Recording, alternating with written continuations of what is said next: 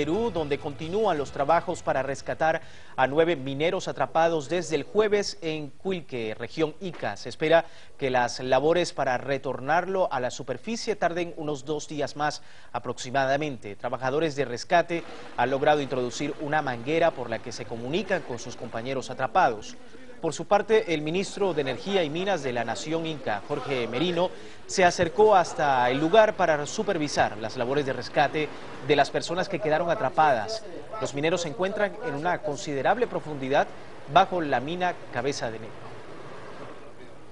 Yo creo que todos los, los mineros que nos están escuchando se distinguen por ser solidarios en estos casos y creo que van a acudir de inmediato. Tenemos que hacer varias cuadrillas para sacar a las personas lo antes posible. Hay un derrumbe de 8 metros más o menos que hay que trabajarlo y soportarlo porque la, roca, la roca está muy frágil.